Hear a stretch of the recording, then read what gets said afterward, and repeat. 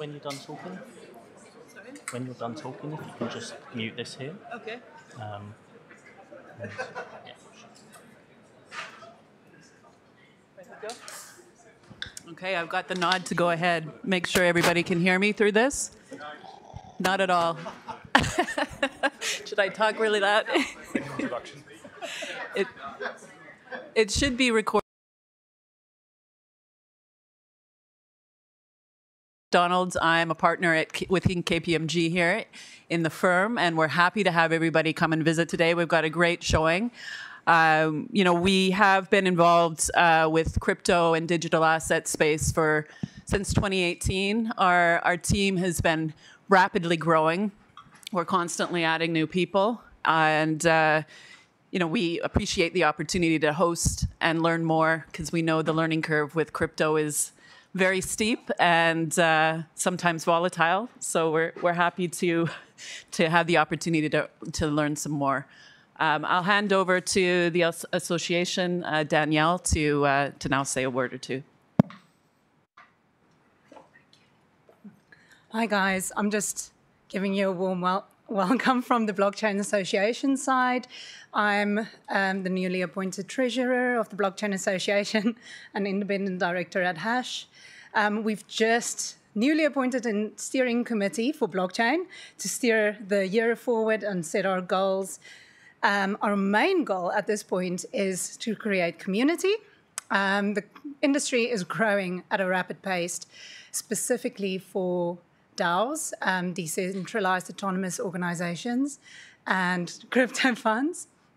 So we really want to steer the way and help to grow the community even more and attract big players in the game like we recently did.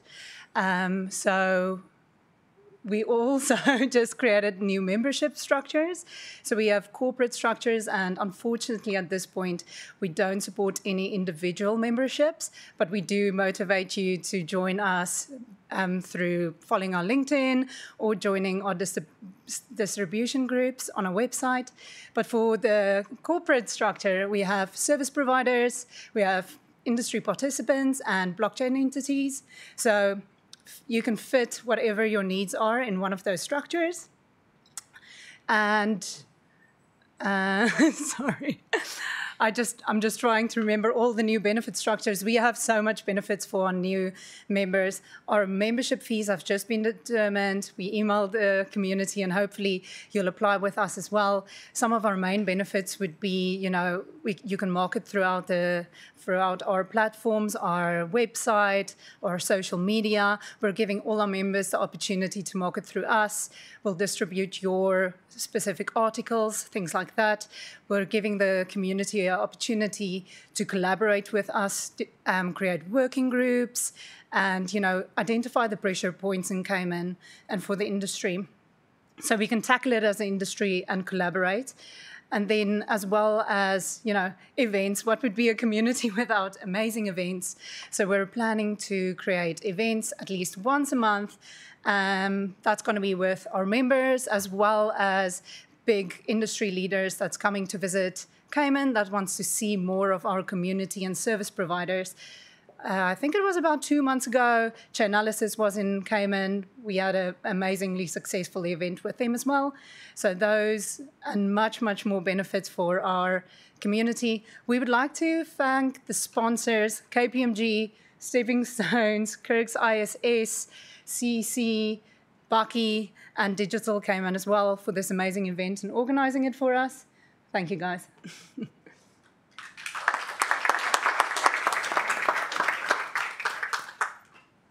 All right, thanks very much, Danielle. Um, welcome, everyone. My name's Cobus Pietersen. I'll be mod the moderator for tonight.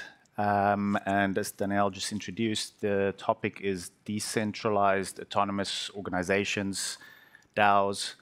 Hopefully, by the end of tonight, if you don't know what it is yet, you will. At least you will know more.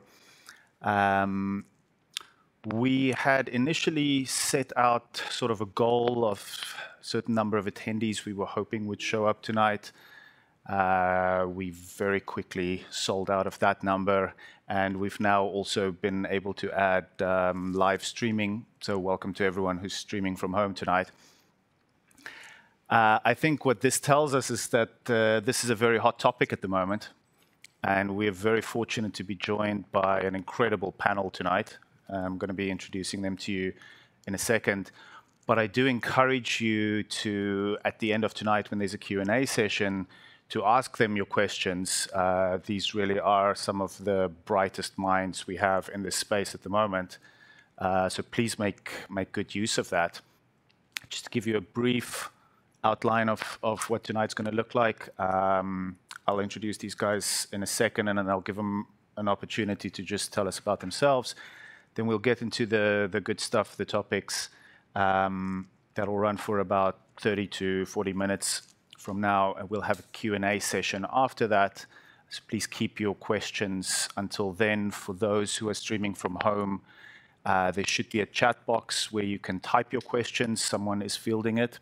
Um, so please submit those, and we'll, we'll ask them to the panel at the end. But we should be all wrapped up here in about an hour. Um, we have some drinks and for afterwards. So if there's anything you didn't want to ask or if you wanted to meet anyone from the panel, please come down afterwards and come say hi. Um, so by brief introduction, and then I'll give these guys a moment to talk about themselves. Um, starting from the far side there, we're very fortunate actually tonight to be joined by James Knox from, uh, from Aon, he's managing director at Aon, who came down from New York tonight to come speak to us. So thank you very much, James. Um, a pleasure, just for the audience here. Um, my wife and I, if you can hear me, my, my wife and uh, I back in New York. We live with, uh, we have five children, and I'm living in a home right now with five females, three of which are teenage girls. I can't tell you how much it means to be here right now. uh, so thank you for having me. Thank you, guys. Um, next to James, we have someone who actually works in the industry, in the tech side of these DAOs. And I'm very interested to hear tonight from Yaro, who's the managing director for Chainlink. Um, so thank you for being Pleasure here. to meet everybody. Uh, I don't have four women at home at the moment, only one, but there you go. um, next to Yaro, we have Oliver Bell. Uh, a lot of you in this room probably know this friendly face. Ollie uh, used to be a partner at a major law firm on Ireland and is now the founder at Marfire. Uh, welcome, Ollie. Uh, and then finally, we have Marc Piano. Marc is actually relatively new on Ireland, only having been here a short few years, but he's very quickly established himself as an authority in the industry. And if we are lucky a little bit later, maybe Marc will share with us a few words on what I understand to be, as far as I'm aware, the first crypto podcast out of the Cayman Islands, which Marcus recently launched. So um, perhaps we can hear a little bit about that later because this topic is sure to have changed in three months from now. So you might want to hear what Marc has to say at that point. Um, but let me give you guys an opportunity to talk about yourselves. Marc, maybe if you go first, just tell us what you do in DAOs. Uh, depends what day it is. So uh, I'm a, a, senior associate at Harneys in the in the Cayman Islands, and I came here in March 2020 on the day that people had to self isolate when they arrived on the island, and then the whole place locked down while I was in isolation, so that was fun. Seem to have recovered from that though. So I work with uh, the Harneys funds and regulatory team, do a whole bunch of stuff, including investment funds, and then because I'm a tech geek who became a lawyer, I've been into Bitcoin and crypto since about 2012 onwards. And then it turned into a lot of work using the advantages of the Cayman Islands. The DAO element is quite a, uh, I think brain melting is perhaps the right word, area sometimes. But as a jurisdiction, we've got some very, very good people here. We've got a very strong international reputation, and uh, it's a great space to work in. I ended up wanting to do this years ago. Now I'm doing it. Sometimes I have to pinch myself. So that's me. Hello. Can you hear me? Is this on? Yeah.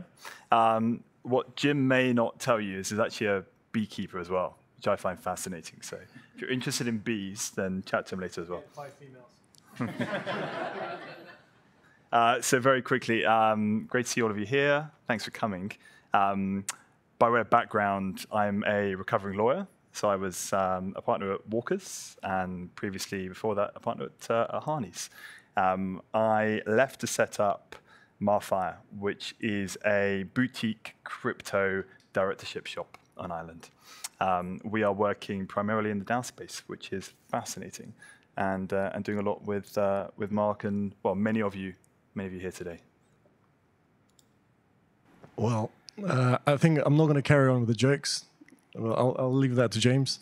Um, but yeah, my name is Yaroslav Pshenitsyn, and uh, I'm the managing director for Chainlink. I also come from a legal background, but uh, three years ago I decided to drop that and go uh, innovate, I guess, because the future is blockchain, Web 3.0. Um, Chainlink is a decentralized um, Oracle provider uh, that provides data for smart contract execution, and we're the number one uh, leader in that space.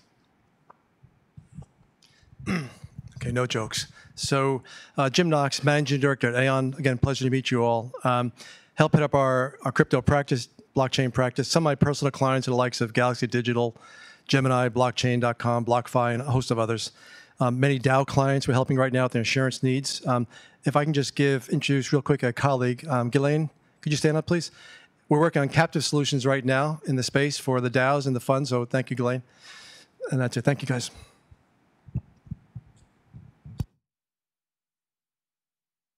All right, thanks very much, everyone. Um, I think what we can see is we have the full spectrum here from, from every angle of the, DAOs, and that's what we're going to try to, cover here tonight. So I think to start off with, um, Marc, you're the, the lawyer uh, on the panel. Um, maybe can you give us a little bit just what is a DAO uh, for those who may not know? Uh, where does it fit in? And then also, Cayman seems to be a very hot spot for that. We are inevitably going to be talking about foundation companies, which is um, what these DAO structures use. So maybe why is that such a such a good and such a popular structure? Okay. I'm going to be freewheeling this, so let's see how it goes. A DAO is a concept. It's the idea of a decentralized autonomous organization, or that's what it stands for. The origin of that term is from an article, at least as far as I can tell, and happy to be proven wrong, posted by Vitalik Buterin. Some of you may know he was and is one of the brains behind Ethereum in 2014. And he talks about this idea of a living entity on the internet that is able to make its own decisions, hold and deal with its own assets, but instruct humans to do the things that it can't do. And he distinguishes that from a decentralized agent, a decentralized organization, which is a group of people who roughly loosely organize and then make decisions amongst themselves, and a few other concepts. So the idea of a DAO has is not new, but the execution of that is now very, very popular for many reasons, which I'm sure other members of the panel can discuss.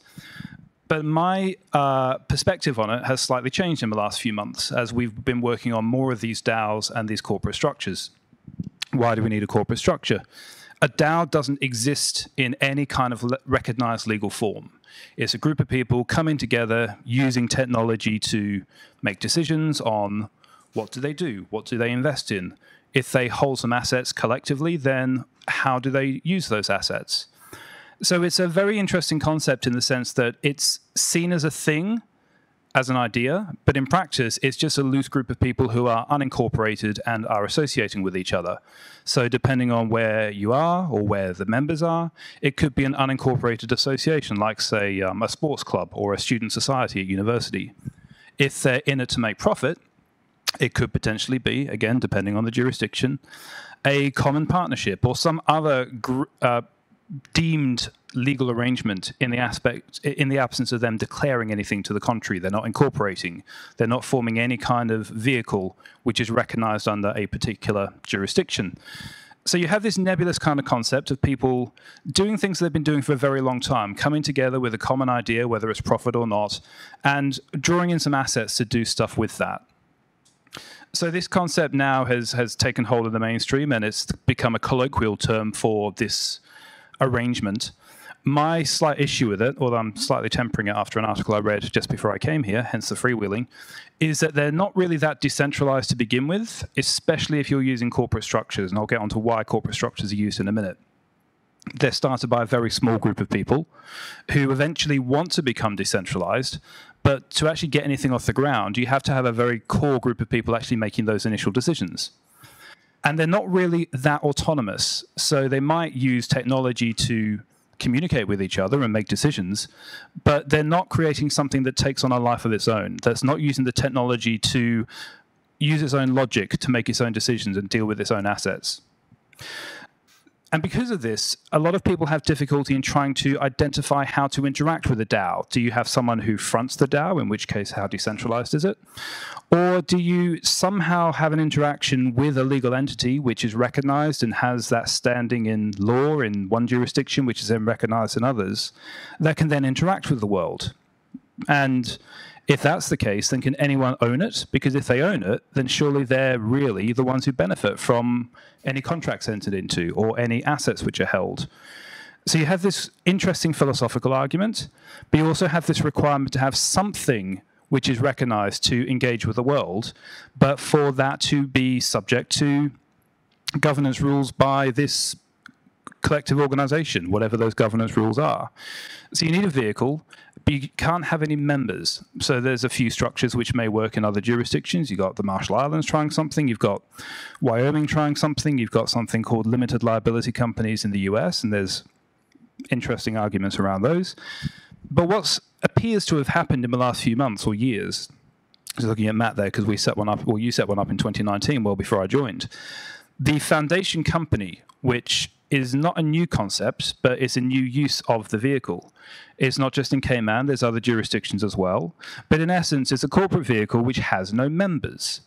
And so if you're a DAO, or if you're a member of a DAO, this is perfect because you can have a legal entity without having to own it, and therefore it's more decentralized, but it can then do things, it can contract, and it can undertake the things which an organized or in some cases disorganized group of people can not do on their own or would have to find one of their number to front it and take the potential contractual liability. So, this interesting dichotomy between the real world and the decentralized world or the uh, online world is coming together in an interesting hybrid fusion that we haven't normally seen before.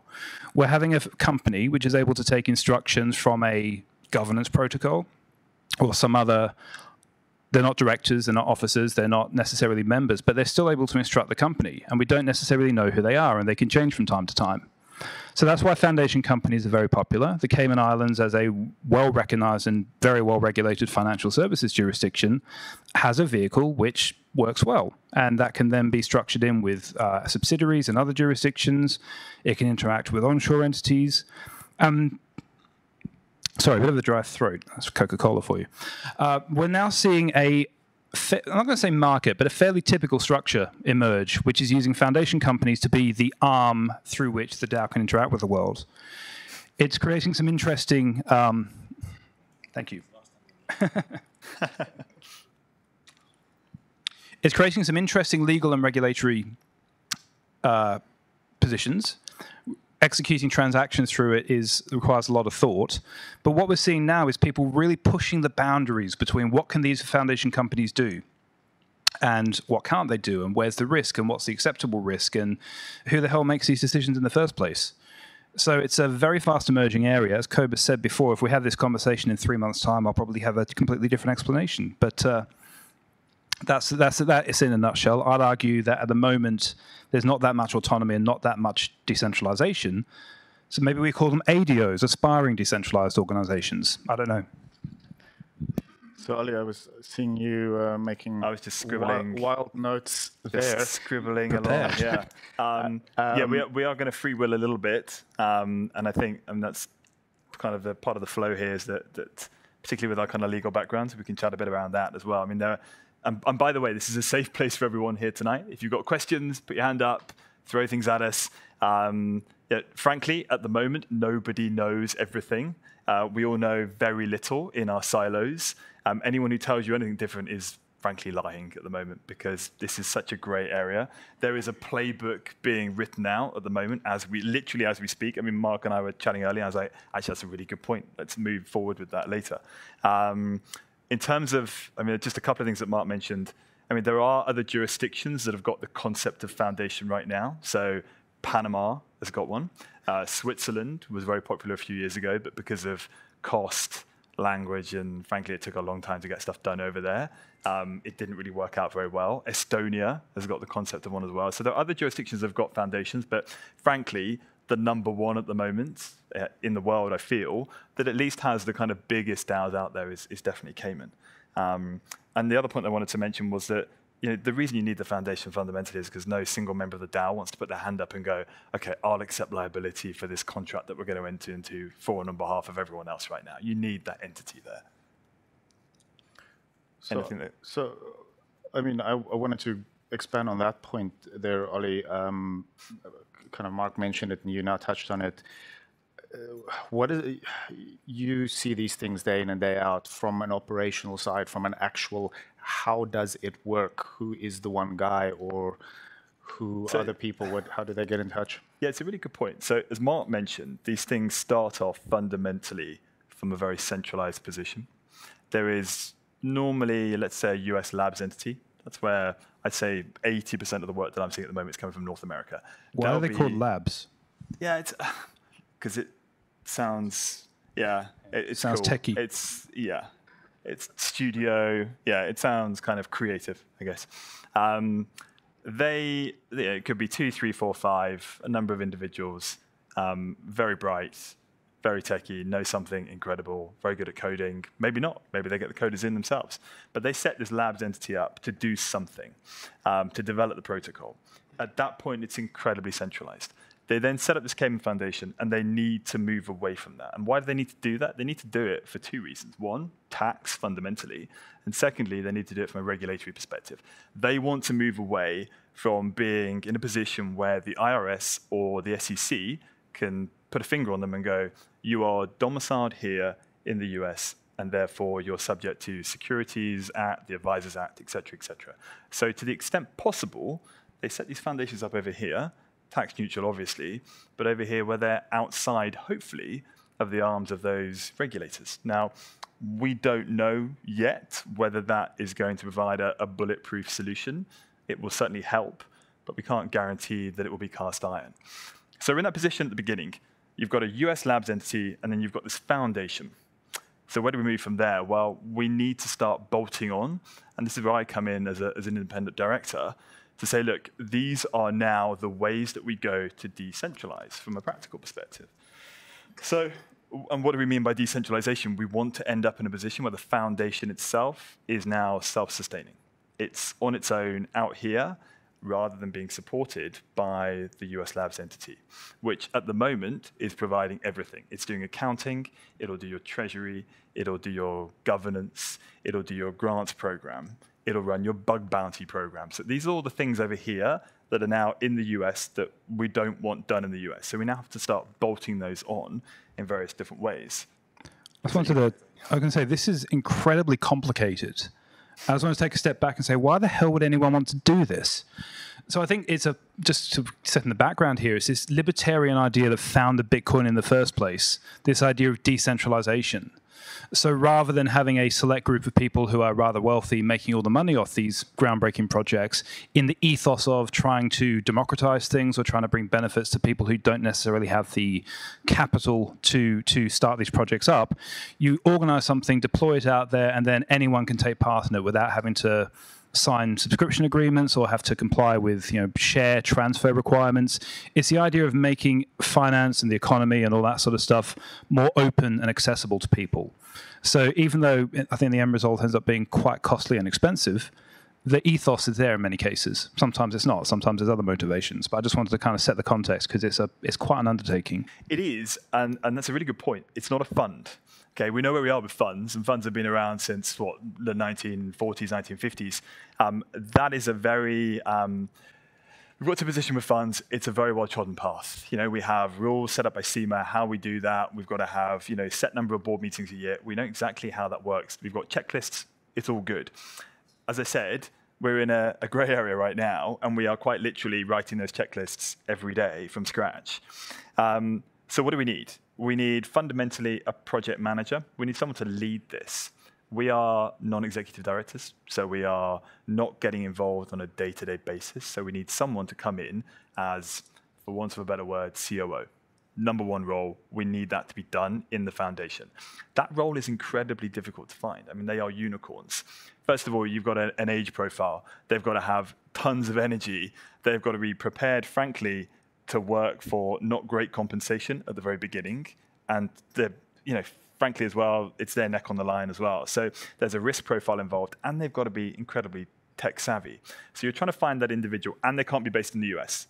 So with all that in mind, how do you find that person? You're not going to find one through a headhunter. So normally you find that person through community involvement. It's someone who's incredibly active on Discord, who's there wanting to help. Okay, great let's have a chat. Maybe you're the right person to take this project forward. That's number one. The next thing we need is, and Marc, actually, this is an important point because where you've got a double tier structure, and actually, you may want to talk about whether we need a Cayman entity or it's a Cayman with a BVI subsidiary, different ways of structuring this. Um, but where it is a double tier structure, very soon we're going to have to file annual accounts in the BVI. So again, from a legal perspective, we're going to need to have um, accounting done. But from my perspective as a director, I want to see monthly accounts. I want to make sure that you know when we're paying out every month to this labs entity or someone else, that you know the expenditure. Okay, it's 50k a month, 50k. Whoa, it's 200k this month. Why is that happening? What's going on there? That's an unreasonable expense potentially that we need to block. So we need to be careful there. Do you want to talk around dual tier structures and anything you want to dip into there? Uh, Can do. So it's the idea of having a foundation company that nobody owns and it supports the DAO, and then because it's a legal entity, it can hold shares in other subsidiaries. And to this point, and that's going to change as you've just highlighted. A lot of people have incorporated entities in the BVI or other jurisdictions to do things that the foundation company either they don't want it to do because they want to separate our risk and functions, or at the moment, and this is again changing as we speak, uh, there isn't necessarily the same level of regulatory uh, legislation and regime as we do in Cayman with the Virtual Asset Service Providers Act in the BVI. But as of last week, the local financial services regulator in the BVI published its public consultation on introducing a regulatory regime for virtual asset service providers, which I must stress is not all crypto businesses yeah. in the BVI. And they have also amended their AML regulations to bring these same virtual asset service providers into that regime from the 1st of December. Again, not all crypto businesses. So that's popular. There's good reasons to do it. Um, which structure used or it should be used? Well, lawyer answer, it depends. So that's very popular, um, but you need to look at what exactly is this DAO going to do? Why do they need corporate structures? And the final point I just wanted to make, and I will give way on this. I'm apologies, I'm hogging the mic a bit. Nice is up. Not sure if that's a good or a bad thing. The other thing to take into account is all of this corporate stuff we're talking about and the day-to-day transactional elements are completely separate to how this group of people as a DAO organize and govern themselves. And the stru- corporate structure can be set up to take instructions on that basis from this group of people. It's usually by online ideas or votes or proposals that get passed, and then that's a instruction from the DAO. But there's a wider issue around the DAO itself as to how they organize, what their bylaws are, and what their governance is, completely separate to the corporate and Cayman and BVI legal and regulatory issues. And that is a, a very much an emerging area and probably going to be one where there's going to be quite a bit of urgency in the coming months, I imagine. Uh, so I just wanted to kind of add to that as well. Great, thanks. So we've got project lead, number one. We've got an accounting side to it, so outsourced CFO. Uh, treasury, we're now sitting on 100, 200, 300 million dollars of USDC right now in this vehicle, in this foundation. Per So per DAO. So what do we do with that? We've got two angles. First of all, there's a security angle, and secondly, there's a maintenance of capital angle. So we need someone to actually potentially put that to work. Someone's got to go and invest it, maybe. Do they invest it in other DAOs? Do they have invested in a fund? Now, funny enough, there are now fund managers setting up with the sole mandate of investing DAO capital because they know that there's a lot of DAO capital out there floating around, and they know that, frankly, they, they could have a very conservative um, approach um, that just maintains the principle, and that would be potentially good enough as long as it beats inflation right now. Or they invest in DAOs. Or they invest in DAOs themselves. Yeah, yeah. Um, but then we come down to the security angle. And again, there's a question whether that we use something like Gnosis. Now, I don't know if uh, maybe most of you, some of you have heard of a Gnosis safe. Um, Gnosis is where you can use the Gnosis platform to set up a wallet, which then has multi-sig. It's a multi-sig wallet. Yeah. Um, in fact. Yeah. So yeah, go for it. M of N concept. So basically, multiple people for security reasons have access to the wallet, but in order to make a transfer, uh, you have to have three or five, for example, uh, in order for the transfer to actually take place. Yeah. Uh, yeah. And, I'll just jump in. Obviously, that way we'll smoothly sort of branch over to us. Across. But you yeah, can yeah. carry on. That's good. There's a lot of things I'm going to dispute uh, with no, things great, you said, great, but then great. I don't want to actually burst your bubble either. But continue. Yeah. Um, and then, so do you use Gnosis? In which case, we need policies and procedures around that. You know, a lot of DAOs that we work on, they go, "Oh, we've got a friend who could be the signer here." I'm like, "Oh my goodness, right? Okay." So I like what, the shard you know, principle as well. I don't know. You could talk about no, it. you, you do that later. That's great. Yep. um, and so, you know, now we build in something in the last couple of months we built in, which is brand new, is the concept of a multi-sig signer agreement. Now that binds these signers now to the policies and procedures of signing, which we didn't even have six months ago. Um, or do you use a centralized custodian such as Copper or Anchorage? Now, there's a philosophical debate there. Do you use the centralized approach where it's a single point of attack, which could be hacked and fail? Or do you put it on Gnosis where you've got potentially seven different individuals based around the world who don't know each other, but if they got together, they could take the whole thing um, themselves. So you have to be very careful. Um, next thing, protocol governance. Who is running that side for you? Who's running the voting? Um, that's critical. Yeah? So you need someone to run the voting platform. Um, you've got someone, got to have someone to, to run that Discord thread to, to look at your Twitter feeds. Now, again, there are people on Ireland that can help with that, which is great. We're in this stage now where there's this nascent industry being built up here in Cayman. And, and there are now service providers who are plugging all of these gaps that I'm mentioning. Who's going to run your grants program? That's a key point as well. Um, you know, we're going to be giving potentially from foundations USDC or native tokens to people who are going to be applying to us all the time saying, please, can I have some of this because I'm going to build it on your protocol. So we need to monitor that. And who's going to monitor it? We potentially need a team. And then finally, you've got your security audits and your bug bounties as well. So, you know, we're seeing that if you don't have a minimum of two audits done, then you're exposed potentially to some form of, of negligent action if you get hacked. What's the security audit and what's a bug bounty? Great question. Okay, so you've got this piece of code. And by the way, I'm not technical. Um, that's not my background, but I'm just having a bit of a baptism of fire over the last year and a half and, and learning a lot. Why don't, um, maybe why don't I'll, have yeah, you go, yeah, for like, it, go so, for it. So yeah. from a bug bounty perspective, if uh, obviously um, there's, let's say there's a bounty always out in the wild that if there's an issue with the code and somebody finds that, that person, well, not the hacker, but uh, it's a white hat hacker, you could call him, actually receives that bounty, but he has to reach out to the, the project. In this case, I guess it would be a DAO. Um, and then that's why, for example, you have events like hackathons as well, where like great minds come together and they hack the code to see if it's actually secure as uh, you know as the project says that is. I, I love the concept of bug bounties because it's kind of a bit like the Wild West. I mean, there's, there's, a, there's a great website called Immunefi, um, and you can go on there and you can see all the bug bounties, and they rank them in terms of value. And it's you know some of them ten million dollars for hacking this protocol. Um, and you'll get people deliberately trying to attack the code to see what they can do and see if they can get a hole in it. Um, hopefully, my children will do that in the next couple of years and be But, some but of those hackers. but, Yeah, but so- it's good. It's good for the project if uh, they're not hacked. So you know, Yeah, could so- be a and that's why they will pay them yeah. so much money. Exactly. yeah. Um, Well, seeing as we're coming into the tech side, uh, let's you- let's, you're, you're let's segue over naturally. Yeah, Yeah, you're naturally yeah. jumping in The- these gents have covered everything. Tell us, uh, On the- well, the- tell us about the under the hood. Like, uh, Um, you well, I guess stuff. uh, Chainlink, uh, from the perspective of price feeds of what we provide for a lot of DAOs, if it's to do with BitDAOs, uh, which is an investment uh, venture far- firm, yes, like DAO concept. Um, like we provide a lot of products for DAOs, but we don't really specialize in them. But I can tell you about the different concept of DAOs, and as uh, Oliver has mentioned, uh, you know the the prot- protocol layer, uh, investment layer.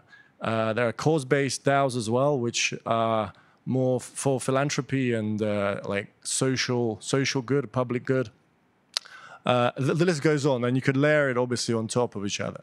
Um, but uh, as examples of uh, very prominent DAOs, you have a stable governance uh, MakerDAO, which which you probably, if you've been to a talk earlier this year, uh, there's a head of uh, head of I think uh, engineering was there for, for that. Anyway, um, then you have lending protocols like Aave. Uh, most of you, uh, the eye in the space, probably used it perhaps. Um, then obviously you have BitDAO, which is an investment DAO. Uh, I mean, the list the list obviously goes on, but I, I feel like obviously uh, taking time into account, one of the stories I like to tell, especially is quite actual at the moment because there was a recent merge of Ethereum. And uh, many years ago, in uh, 20, 2016, the first DAO, which is the Genesis DAO, they called it the DAO, um, when the first concept, well, the first time the concept actually came about, where there was, I think, about 150 million dollars worth of ETH um, there until it was hacked, and uh, the team behind it arranged the counter-hacking team to to hack, uh, you know, the black hat hackers, you could call it in that sense, and uh, 70 million dollars was recovered. But um, as a result of that, there was a key a key situation where there was a hard fork where you probably heard of Ethereum, but you may or may have not heard of Ethereum Classic, and that's when, uh, in order to continue the code and I guess uh, to regain the funds of those people that put the money in the DAO, the Ethereum uh, uh, did a hard fork and continued a different route of the blockchain, whereas Ethereum Classic uh, stayed on the same path. And the reason I say that is because James Knox, next to me, uh, you know, he's from Aon and he offers insurance for, for DAOs. And I feel like it's quite a good use case to understand how insurance can, can actually be used in that, that instance, for example. Well, aside from that, uh, it's a very good segue. I kind of would like you to also bring it into some of the stuff that, that Ollie was talking about. Um, I am personally not aware of this, but I've been told that the crypto market doesn't always just go up. I usually, usually stick my head in the sand when the news comes out. Um, but when things do go bad, there's obviously a lot of opportunities that these guys have discussed. Um, what happens? Uh, can someone be sued? Can Ollie be sued if he's a direct? How do you sue a DAO? Uh, could I do that? it's great questions. And, and then what? Is there, are there any remedies? Yeah. Yeah, and I like how they saved me for the doom and gloom parts, but but but here we are. So there's a disturbing trend with DAOs, and it's the following. Um, we just recently started to see a number of lawsuits, litigation against DAOs, right? Whereas before it was pretty much non-existent. Large degree is because DAOs just have not been around for a long time. So there's a trend that's developing, and it can be very potentially dangerous for DAO members, DAO founders, investors in DAOs. And it's the following typically, traditionally, uh, you know, I'm an attorney, so I, I feel comfortable speaking to this. If you if you're going to bring a lawsuit, you're going to sue a corporation. You're going to sue a board of directors. You may sue the CFO if they're public, the CEO if they're public. That doesn't exist with the DAO. There's no board to sue. There's no legal entity to sue, right? There's no CFOs. So God bless these plaintiff lawyers in the states. They're going to find a way to sue you, and they are. And we just recently have had some litigation in states that frankly is disturbing because of the following. In general partnership law, there's a, theory that if two or more people come together to form an enterprise that's unincorporated for motive of a profit, that's called general partnership liability.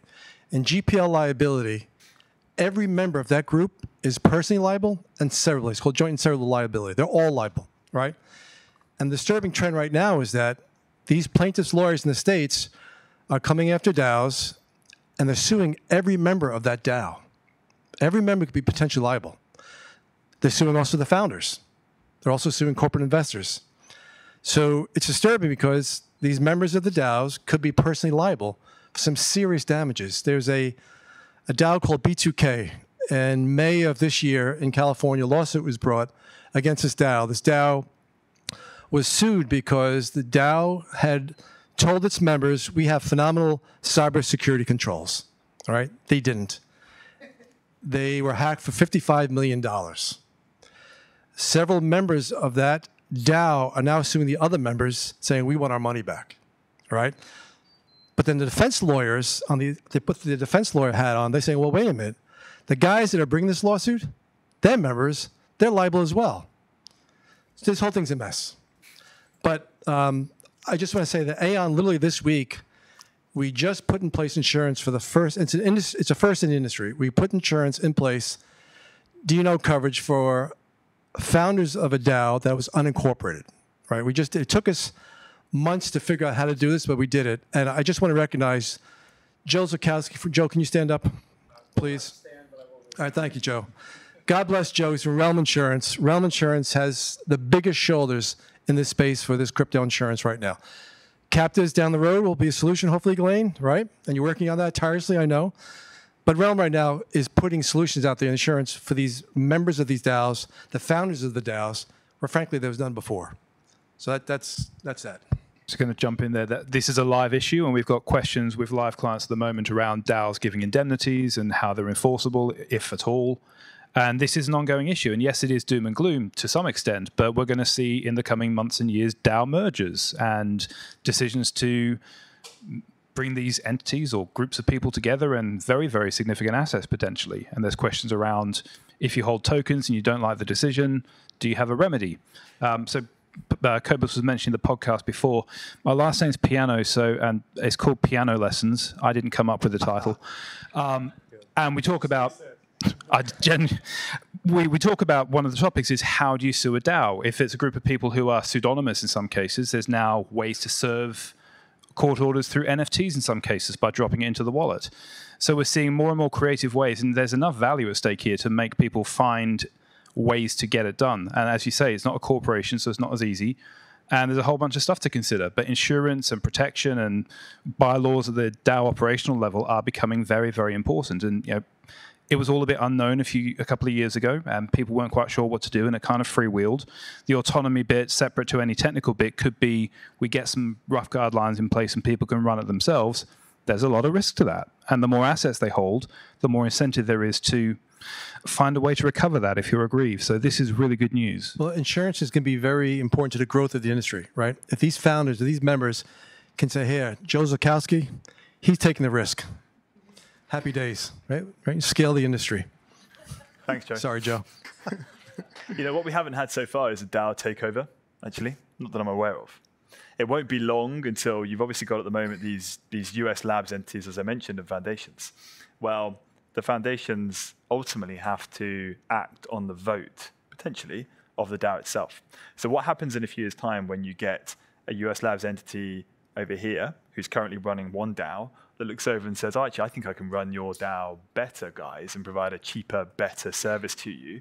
They then propose themselves on the vote. The vote goes ahead, and then suddenly you find yourself in a position that you're, as a director, potentially having to terminate that contract with your service entity because you've actually got a DAO which is now voting to move it across. So we've not had that yet, and we're in kind of that's going to be completely uncharted waters. Consolidation of decentralization. Hmm. One last thing, too, on the insurance part is that I think captives are going to be the ultimate solution because you have all these members of a DAO, right? All going to be seeking insurance. Joe may find a way to provide insurance for each single one of those members, but I think that's going to be a lot of due diligence. That's going to be taking time. The solution may be captives down the road, so we'll see.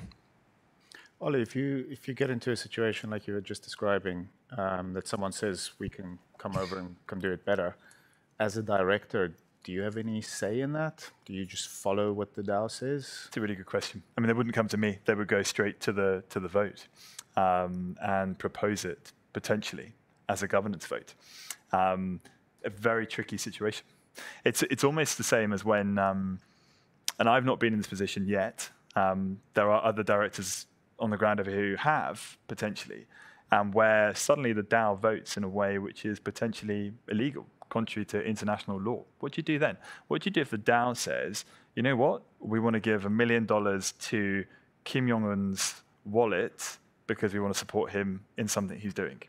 Now, at that point, you know, we as directors on this foundation are in very, very kind of tricky, troubled waters. Now, obviously, we wouldn't go ahead with that um, for various reasons, but you know, we would have to. I mean, this is why at the moment, actually, and Marc, you can probably jump in on the bylaw side and the M&A side.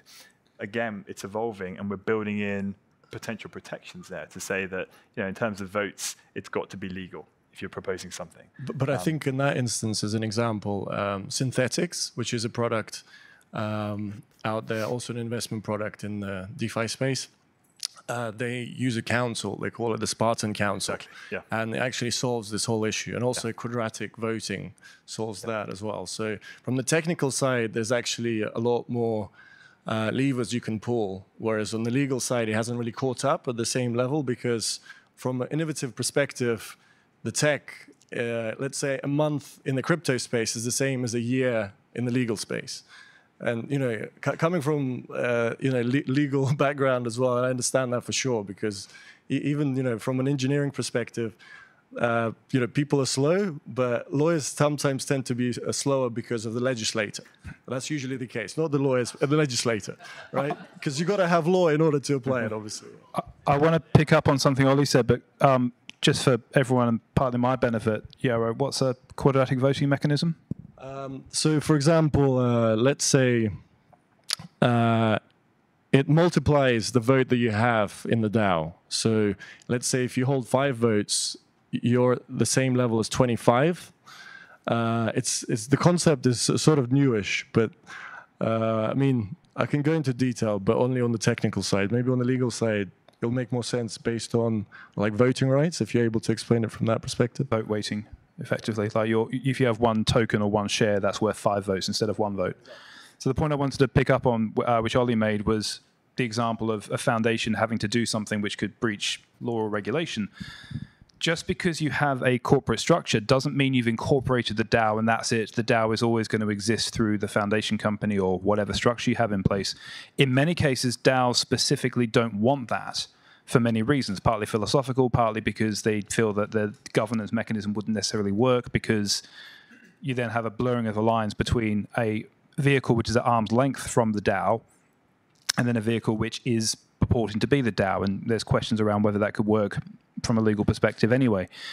So I think what we're talking about here is the idea of the foundation being directed by the DAO and what, happens in practice is people put up a proposal.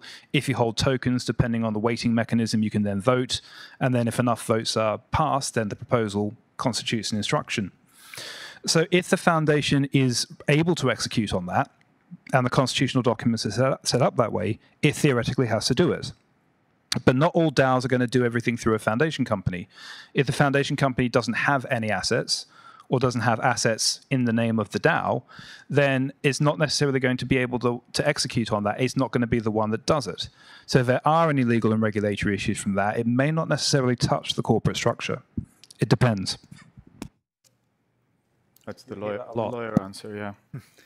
Any questions? Um, before we get into the questions, um, and please, if anyone at home, uh, there's the chat box if you want to put some questions in, in there. Um, just moving away from all the structural things, maybe out of interest, Jim, you were telling me an interesting story the other day about uh, how DAOs are used to acquire interesting assets like sports teams and things like that. Maybe can share an interesting use case like sure I, yeah thanks for that i mean daos are so much more than buying nfts or DeFi. Um, in, the United, in the United States and the US, there's been a movement for DAOs recently to um, become in, involved in very, very large, significant transactions, meaning that a DAO was formed early this year to buy one of the very rare copies of the US Constitution, actual copy of it, right? They were actually outbid by the founder of a tech company in, in, in Silicon Valley, but the DAO came together for that purpose a DAO was formed, I'm not sure if they're successful. Joe, I don't know if you know, but the Denver Broncos, a four billion dollar franchise in the U.S. football team, a DAO was formed to buy that that football team. So these DAOs are really taking on some significant investments, endeavors, and it's coming. It's coming in a big way. It's very interesting. It's uh, it's been a lot of theoretical talk and, and, and things that, that people want to achieve, but it's a very real world scenario. No, it's, it personally, it's given me a really um, interesting connection with my children. So those of you who've got kids, um, I don't know if, the, if they're aged between you know five and ten, they'll be all over Minecraft and and and Roblox, which are two of their favorite games at the moment. And I'm constantly being asked for, you know, oh, Dad, can you give me five dollars to buy more Minecoins or Robux? the two native currencies. Now, there's a problem with that because they are locked into those ecosystems permanently. Once the kids are bored of Minecraft, they just go, okay, fine, we'll move away from it. But you can never get that money or those assets ever back again. And when I talk about assets, you know, it's can we have a new haircut, Dad? Can we have some new trainers? Can we have this, a new skin, shield, gun, whatever it is? So we're working with a really cool DAO, gaming DAO at the moment um, in the NFT space. And what they're doing is putting together um, a transferable NFT which allows you to move between gaming ecosystems. So you buy that weapon and then you can take it with you for the rest of your life. So between metaverses, yeah. basically. Between yeah, between those different games, you can now get a cool pair of shoes, trainers, and you pay for them once, and then you can wear them in every game going forward, wherever. And it's brilliant because I mean I, I love that as a dad because now we won't have to just lose money and throw it down the drain. Um, but it's given me that really cool connection now with the kids as well. And uh, yeah. And, and if anyone is wondering, because I hear this question a lot, what is the metaverse? For those who have seen Ready Player One or read the book, that is a metaverse. Um, and that's where Ollie's having to spend his money on trainers and haircuts. And it's actually a, a big space. I think that uh, designers are moving I, into I, selling I, handbags. I, kid you not. Yeah, I kid you not. Um, uh, it's, it's fascinating. So Gucci, those you don't know, uh, released a limited edition. Uh, I, don't know how many it was, thousand pairs of trainers, something like that. Um, they've gone up probably a thousandfold now. Um, you know, the, these are not NFT form. Um, the the boat that was sold as an NFT for about seven hundred and fifty thousand dollars in a in a metaverse of a game as well. That happened when there was the NFT boom. There, there's some crazy things yeah. being and, used and, there. And this generation coming through are living and breathing that, which is fascinating. And that's the world they're growing up in at the moment. Slightly we terrifying. Haven't. It's slightly terrifying as well, yeah. Um, but it's amazing. I mean, a pair of trainers for them in the metaverse is actually more valuable than a pair of trainers in real life, which they'll scuff within weeks and then in six months' time outgrow. So. Hey, Ollie, just for clarification, sure. and mind my ignorance. So when we're talking about trainers, as Yanks call them, sneakers. Sneakers. Yeah. But um, in the metaverse, uh, so it's, is it a real one that you'd wear, or we're talking about it? It's it's you know. No, it's what your character wears. Exactly. Your avatar right, just so everyone wear. knows this. Okay. Yeah, yeah, it's what they would actually wear, and the kids are like, "Oh wow, I love your trainers. That's amazing." Right. Yeah. Okay. Facebook, yeah. for example, is, is moving. Facebook is spending a lot of money on, on research uh, to develop their own metaverse, where you can have your own avatar. Probably it'll be a little bit too late when Facebook is already going to be dead by that point, but hopefully it's not. Um, but yeah, there, there's a lot of unique things that are going to be happening where it seems to be around the world, especially in a lot of, I guess, um, those societies that are more um, individualistic in that sense. Let's say, like Japanese people tend to uh, enjoy the metaverse more and uh, having that alternate reality and therefore those are the markets you know that are picking up and, uh, and you know having a lot of development in that space. I've just got a general question to this entire audience: Is most of what we're talking about today Greek, or or does everyone have kind of somewhat of an understanding of what we're talking about, even vaguely? Yeah. From philosophy comes from the heart. Yeah, there you go. All right, because, because I just love to know, you know, the, the the understanding of what we're talking about. And, and, you know, is there some remote understanding? That's great. Yeah, that, that's helpful. I, I just wanted to kind of synthesize because we've been talking about NFTs and the crossover between the real and the virtual. Uh, for anyone who came to the event in February at the cinema, I was talked about NFTs as like a, a magnet, and you can attach stuff to this metallic token, but unless you have metallic force, all those sorry magnetic force, all those attachments will fall off. So you can attach all sorts of things to this token. A lot of people have used digital art, but the idea with this kind of metaverse real world NFT link is that let's say you buy a luxury fashion item, you will get an NFT which is only created as a one of one in connection with that fashion item. Not only does that allow you to prove that that piece of luxury fashion is genuine and not a knockoff or an imitation, it can then reference a digital asset which represents a physical one in whatever metaverse environment you're going to use. There isn't one metaverse, there's hundreds. Let's see which one wins out. It's a bit VHS and Betamax for those who remember that reference. So you do are you are able to use this technology to blend the physical and the virtual and that gives you a sense of crossover and continuity whereas before there was a somewhat of a disconnect between the real world and the physical world. Nfts are a bit of a bridge to that. There's all sorts of potential consequences and discussions around that not for this session. But we're getting to that line now which is becoming increasingly blurred between what's real and what's not. And nfts act as a kind of a, a bridge so to speak for that. So just wanted to kind of give you a, how those work together. Thanks Marc um, I think maybe some questions. Is there anyone on at home? No, no questions. Anyone here? Um, can I have a mic? What?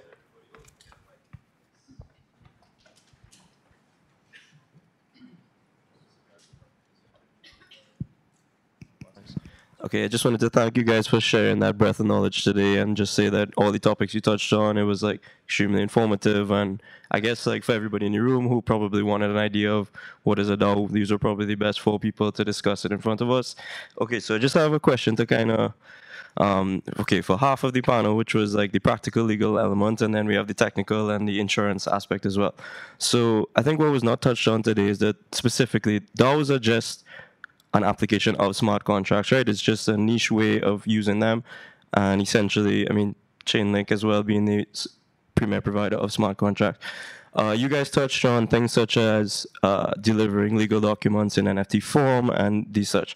So, to the legal part of it, how realistically, from your knowledge of your industry, how far do you think that that is going? Are we out from that being a like widespread use case, like utilizing that smart contracts, especially, especially to deliver. Uh, yeah. In order for the smart contracts claims, to be legally binding, basically. Right. And then, in regards to the insurance, how far do you think we are from retail interface and products that are essentially autonomous, such that I don't necessarily need to even go to an insurance place to buy a claim or anything like that, and essentially it's all done through my MetaMask wallet as well.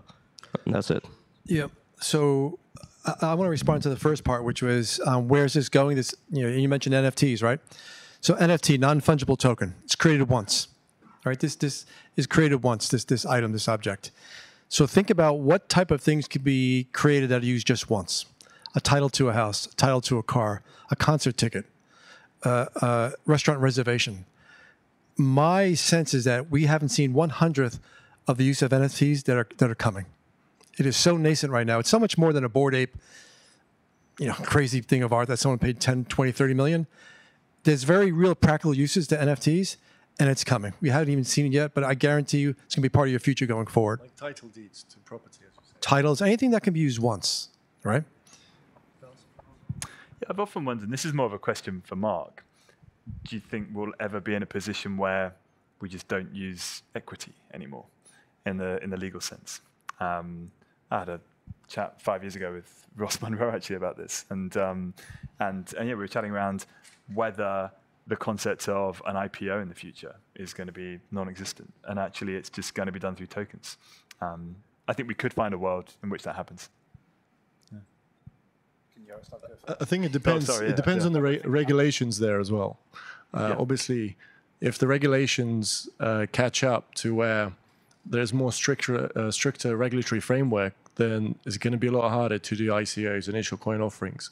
So then the IPOs will still be around, but um, yeah, it really, it's it's a good question because um, the grayer the area, the quicker the technology will develop. So therefore, the slower the legislator, the better it is for the space. Uh, in that sense, yeah. Yeah. To answer your question. So, Ollie, great point about IPOs. So, would you say that um, initial coin offerings did they somewhat replace IPOs, or, or Yeah, well, I, I guess if you if you treat a share of a company as the most centralized form of token, Right. and then you've got uh, and and then subject to hacks and destruction if it's in paper form, etc. Whether we'll move eventually to a world which is totally using the blockchain and tokenized form. I, I, th- I don't. I genuinely don't think we're we're a million miles away from that. no, I, I no, I, I, I per- ma- maybe, yeah. I personally, I think less. I think we're definitely heading that direction. Definitely.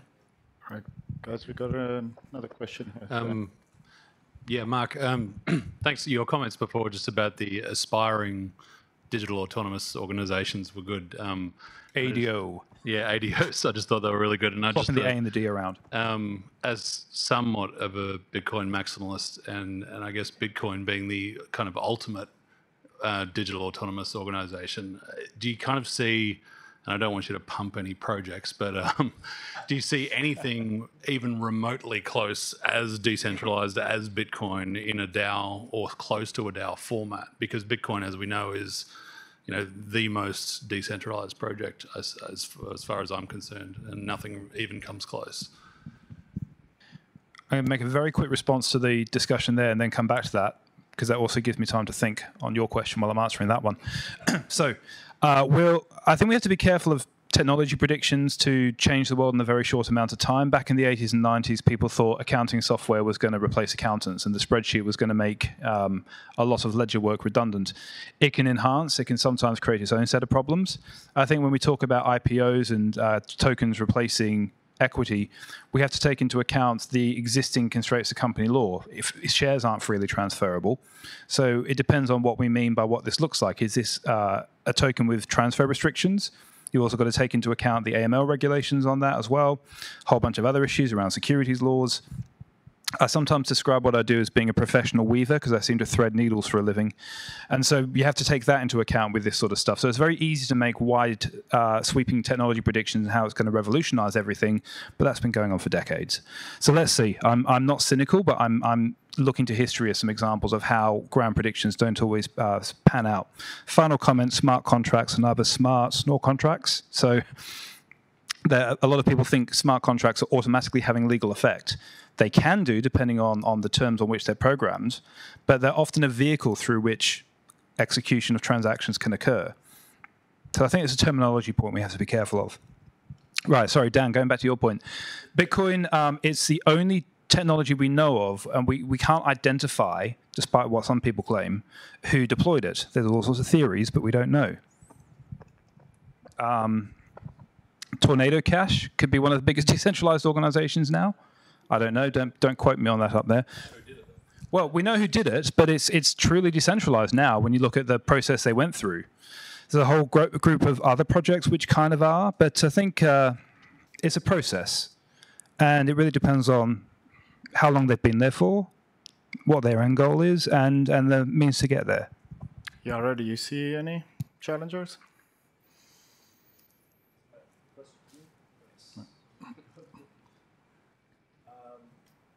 Well, to, to be honest, uh, it's it's the human factor that's probably going to be the downfall of this space. If we don't move towards, to an extent, artificial intelligence, there's always going to be this greed factor where it's going to be more or less centralized. Yes, Bitcoin. Well, you could claim obviously that it's fully decentralized, but then, um, you know, you could argue that whales that hold a lot of value have actually more um, say in, than those people that hold smaller smaller units of Bitcoin. So they're like it really depends on the philosophy there. Um, but but I feel like if human nature isn't going to change, um, you know, we're not going to get the ultimate decentralization sort of euphoric state of a project. I don't know. Maybe I'm just being cynical, but I, I think working in the space, I see it on a daily basis. Fair enough. Think another um, issue that's going to have to be dealt with soon is the SEC in the states has said that a number of tokens issued by different DAOs are in fact securities. All right. That's going to bring them under the purview of the SEC, which has its whole host of requirements and, and regulatory compliance. That's something that's going to have to be dealt with, you know, as this, as this industry matures as well. Yeah, I think that's that's the one thing. Stay away from the United States. if if if uh, your token is uh, traded and there's a USD pair, do do make sure that doesn't happen. Anything to do with the USD dollar, and then you'll be living pretty bliss. I think you know. you have an ICO in the Cayman Islands or in the BVI and then uh, structure it that way. But as long as you don't have UBOs in the US as well, so that's that's another factor. All right, not not legal advice. Uh, Thank, Eduardo, you. Thank you. Um, I'd like to touch on the gloom and doom scenario. It was interesting to hear about the uh, suing of uh, DAO members. What would happen if that DAO had created a foundation company here and Oliver and I were directors on that foundation company? what would be our risk and would be we would be, be sued at the same time? What what is the scenario there? Thank you. Yeah, it's a great question. So the big question there is jurisdiction. The court has to have jurisdiction over the people that are being sued. People that are bringing the suit have to have jurisdiction. And for that reason, I think that's why Cayman is becoming very popular. Very simple right? Lack of jurisdiction. These foundations are being created here. The long arm of Uncle Sam is not coming over here. So, uh, and yeah. even with the VASP law. Sorry. Even with the VASP, the Virtual Asset Service Provider. So, um, again, it goes back to jurisdiction. I mean, yeah, maybe. No, no, no say if you want to sue a foundation company, it depends why, and not just jurisdiction, but also standing. You, do you have a contract with the foundation? Do you have some sort of link there which allows you to, to make that claim? Or if you're looking to sue the foundation, what are you hoping to get out of it? Uh, does it have assets? Does it have any ability to pay any claim? Or are you trying to use a foundation company to get to the members of a DAO? So it, sorry, I keep coming coming back to this. It depends. Ghislaine?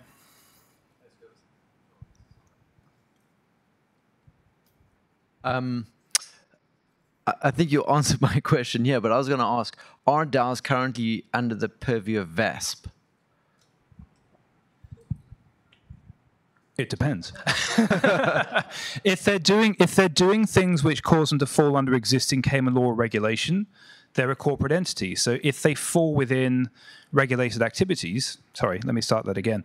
If they're undertaking regulated activities, they may well be subject to regular law and regulation, whether like it's Securities tokens Act, to public or something like that. Yeah, VASP Act, um, all sorts of other acts we look at in our legal and regulatory analysis on these. So we need to understand not just if we're setting them up, but if we're advising them, what exactly is the foundation going to do? And depending on that, we can then look at whether they can do it, whether they can do it through the foundation or some other way, and whether any laws and regulations apply, and what they need to do next. And that's one of the first things we do as directors is we make sure that we've got a legal regulatory memorandum which sets out are you subject to VASP fundamentally, mutual funds law, economic substance, beneficial ownership, la la la la la, AML, yeah. you know the whole kind of full acronym suite. Um, oh yeah, we, we can we can do the acronyms. Any under VASP? Yes. I don't know how many at the moment. I mean, Only in Cayman? No, I think it's more now. It's it's there's there's a lot of 50, foundation yeah. companies, yeah. like several hundred. Yeah, VASPs, uh, 14 apparently. So uh, let's go with that. Okay, so there's good precedence at least with CIMA on that. When you're onboarding, sorry, when you're onboarding. So can, can you use the microphone, then the streamers can hear. So when this all starts for you and the client comes to you and they talk about setting up a foundation, who is your client? How are you onboarding the DAO? As in, who are you determining who you're doing all your AML, KYC, and all that fun stuff with? It goes back to what we've discussed before. You normally have a small group of people who set this whole thing up. And so we normally look to them to get things up and running. And then after that, we look at what they want to do and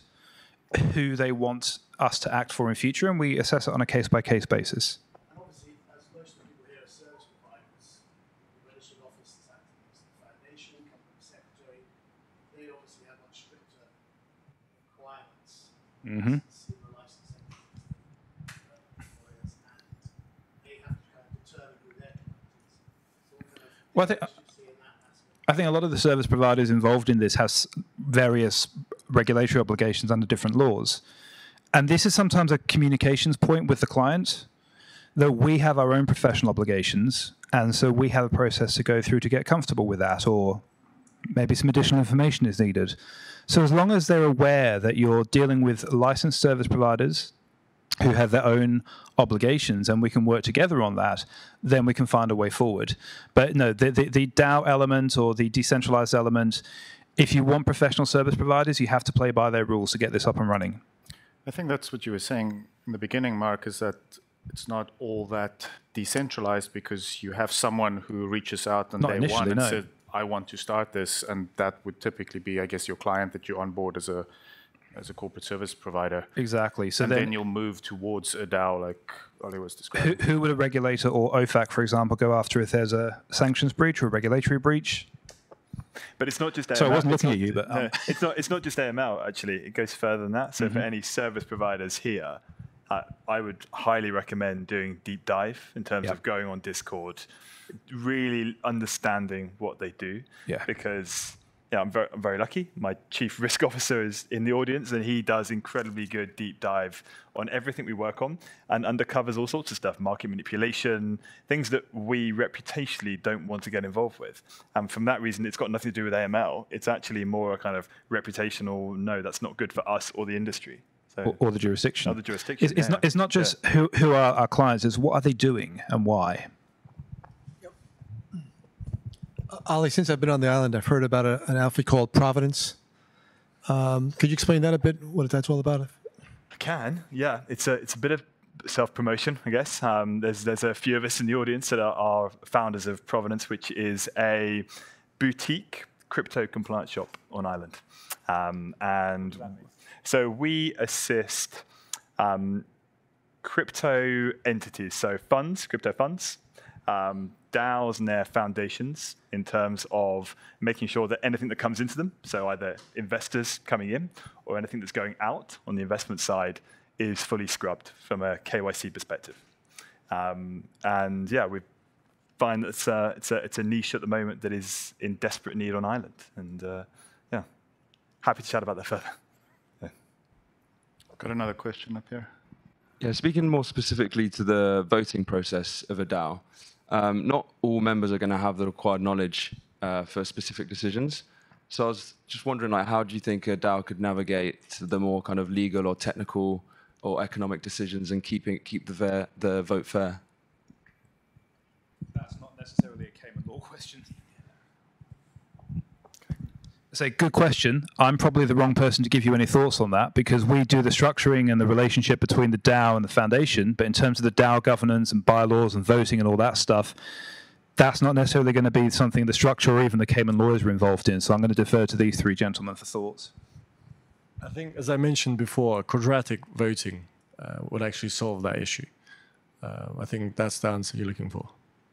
Could you get to a point where it's such a technical question that only five people know what they're Um, talking about? No, no, we, we get a few mentioned it earlier. We mentioned it earlier, but but I think if, if you use it as an example from a voting rights perspective in law, I guess it's um, your vote counts more in comparison to somebody else's that uh, has more shares, for example.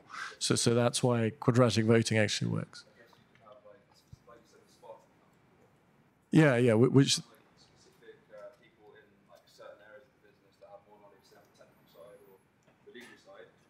Yeah, yeah.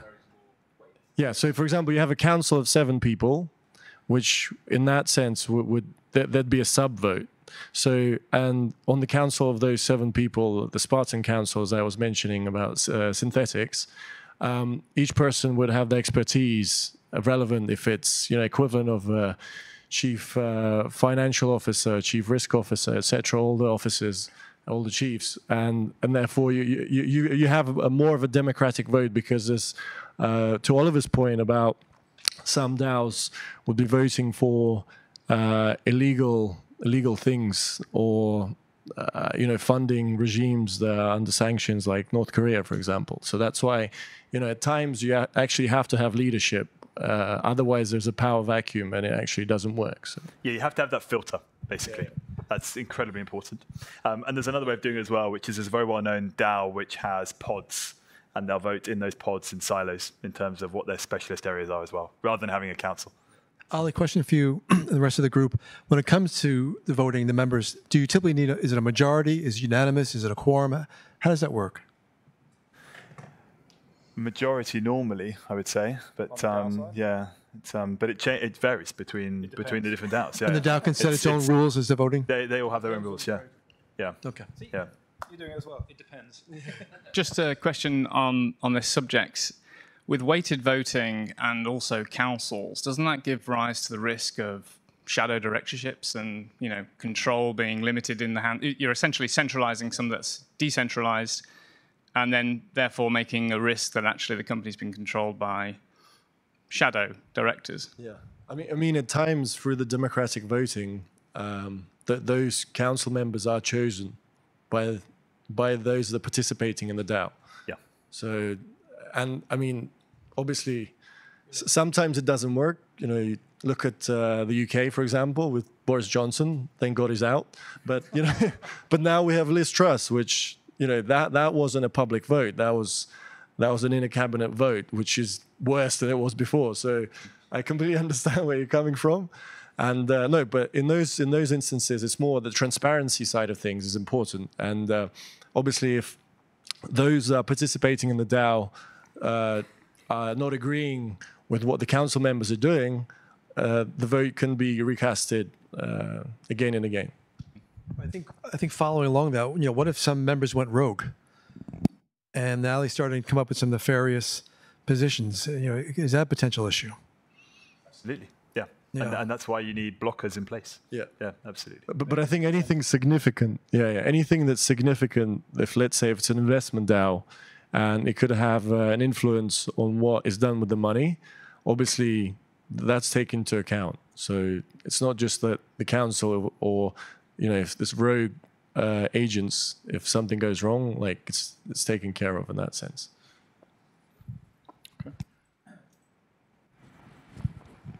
Final comment picking up on that is if you read the SEC's report on the DAO, one of the points they pick up on is the ability for certain people to effectively whitelist or block proposals, and they picked up on that. So the final question there is you have blockers in place, but then how decentralized is it? Right, question from streaming We have local man and he says um, how do insurance companies prevent fraud in DAO claims with hackers being prominent in the space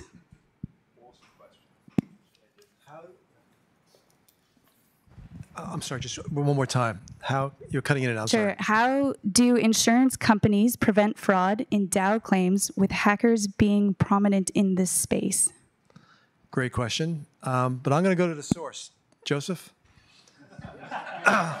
this is the man who's conducting due diligence on that exact question. So, Joseph? I, I mean, a lot of it comes down to, um, you know, the scope of coverage that is ultimately being provided. If um, you know, the foundation that we're providing coverage to is not responsible for the cybersecurity of you know a particular aspect of the protocol's operations, then um, you know it could fall outside of something that would be contemplated for coverage. But you know, if we're underwriting a foundation that's been tasked with key security or that's been tasked with um, providing governance over treasury, the resiliency and the cybersecurity and the means by which they provide key security and, and enforce signing authority, those are all components of the underwriting process. But it comes down to understanding the facts and circumstances of each one of these particular underwriting initiatives and then you know, peeling back the onion to the point where you can make an informed decision.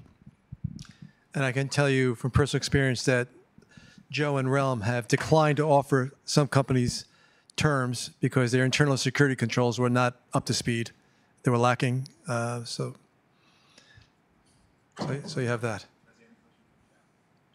That was the only question from home. Uh, I think maybe one more. Is there anyone else? Question, Eddie.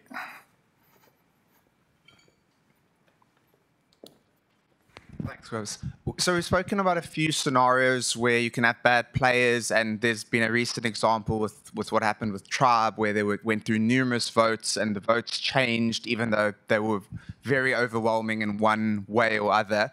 How can DAOs build in a mechanism that that doesn't happen in the future because it takes away from the whole decentralization idea, and you can also get a few bad actors coming together and changing something that other people have already voted to happen a certain way.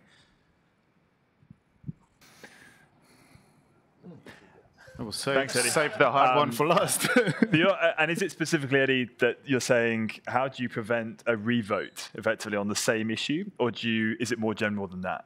In yeah, terms I mean, of- i- is there something that can be put in place to stop that kind of bad actor scenario happening, or maybe it's as simple as once something's been voted on, once it's done? Potentially. I, I mean, that, but that is exactly why we have the concept of councils, either at the filter level before it gets to the vote to say, no, we've done that before, guys, that doesn't make any sense. Or we do it afterwards. So it's been voted on and they go, well, okay, it's passed, but we don't need to implement it.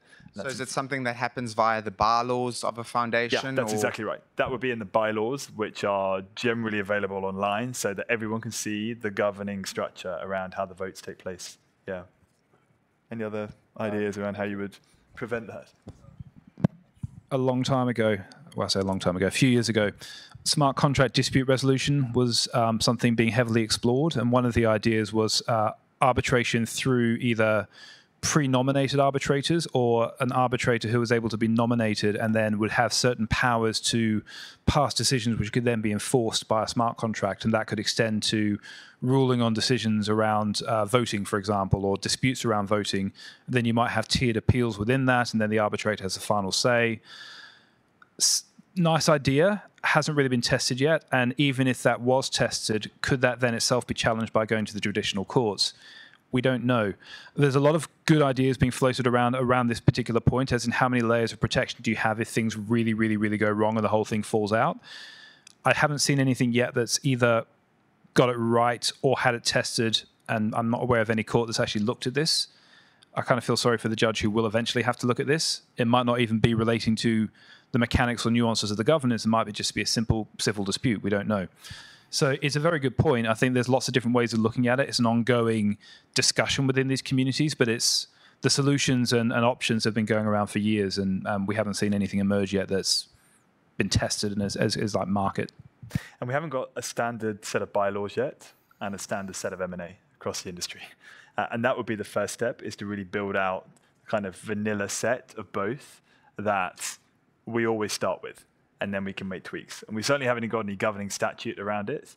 And that might be the next step after that is to say that will fill in the gap. So where there's, you know, plain vanilla M&A and plain vanilla bylaws, actually we've got more comprehensive statute, or at least that would cover it where you don't even have bylaws. Because some of these DAOs don't have bylaws at the moment, which is leaving you completely exposed.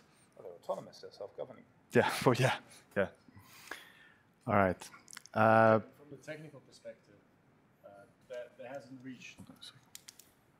Sorry, from the technical perspective, uh, I think because the DAO concept is fairly new, you know, 2016, I guess. Uh, there hasn't been that much excitement from the technical development side. So obviously, like it will catch up, and I think there'll be a solution. If it won't be a legal solution, it'll be a technical solution. Because I guess from a philosoph- philosophical perspective, it needs to happen in order to uh, make sure there's justice, even if it's not a legal remedy. It'll be, I guess, well, a remedy in equity, but not really in technical side of things. I guess, yeah. I just want to say thank you for sitting through an hour and 20 minutes of straight talk about DAOs. Yeah, I think that that is a very good point. Thank you, everyone, for coming out. I want to give Caitlin a moment to speak here, who has put this entire event together. So thank you very much, Caitlin. But also, you guys, I think everyone can agree this was pretty great. Most questions went answered, I think, pretty much. Um, like I said, these are some of the smartest, smartest guys in the room right now. Um, so thank you. Round of applause for our speakers, please.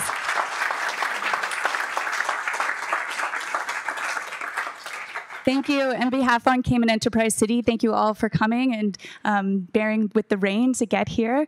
It's been a great discussion, lots to think about, lots to take home, lots to learn. Um, I am responsible for organizing a series of Tech Talk events. This is our 40th event so far that CEC has taken the lead on. If you have any topic ideas, I know this is tech rich in this environment here. So if you have any ideas, please do come chat with me afterwards. I'd love to hear. We're curating a program for 2023. So any ideas, please come see me. Again, thank you to our sponsors, Stepping Stones, Blockchain Association, Digital Cayman, Cayman Enterprise City, KPMG for hosting the venue, and Kirk ISS for doing the live feed. So thank you all. Have a wonderful evening.